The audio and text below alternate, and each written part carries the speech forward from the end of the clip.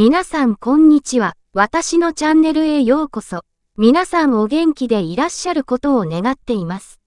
先天性疾患による低身長というハンディキャップを持ちながら、大人びた明るいキャラクターで、YouTuber としても人気のリオナちゃん、7。お母さんが14日、インスタグラムを更新し、優雅に過ごしているという入院中のリオナちゃんの様子を公開した。7月22日の投稿で、2年前の手術で入れた金属が2本とも折れてしまっていることが分かりました。今後、手術が必要になる見通しですと明かしていたリオナちゃんのお母さん。リオナちゃんは8月8日に手術を受け、その5日後、これまでのリオナでは考えられないくらいスムーズに術後の生活を過ごしています。と、無事に手術が終わったことを報告していた。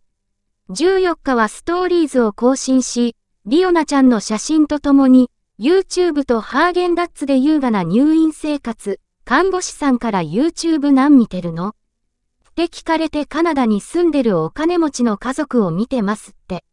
説明がおもろい、と入院中の様子を明かした。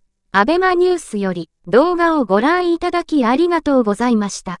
また次回の動画でお会いしましょう。